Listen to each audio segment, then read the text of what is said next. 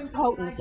It's a sign of their utter the Tea impotence. It's a sign of their they didn't get utter impotence. They're not in power. It's a sign of their utter impotence and their inability to defend our freedoms.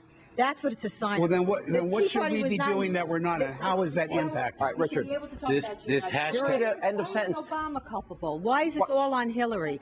I mean, he has favored the Islamist agenda since the very first. I think the fact that we're putting this all on Hillary is, is intellectually dishonest. And he has, uh, if- time and time again, um, sanctioned good luck. For, for, for his, uh, you know, vish- his uh, uh, attempt to fight Boko Haram. KT, he has been ostracized KT. by. She. Pam, Why didn't she uh, speak Pam, out? uh, th- this is what this campaign is going to be, be about. I think Bill's right. It- This campaign really is underway, and the fact is, anyone that speaks against it is an Islamophobe or a racist.